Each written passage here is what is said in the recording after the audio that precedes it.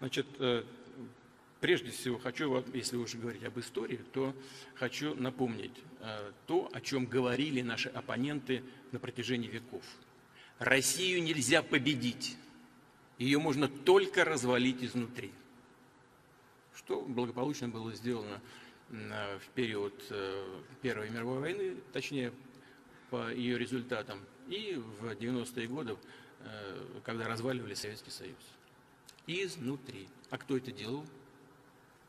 Те, кто обслуживали другие чужие интересы, не связанные с интересами русского и других народов Российской империи, Советского Союза и Российской Федерации сегодня.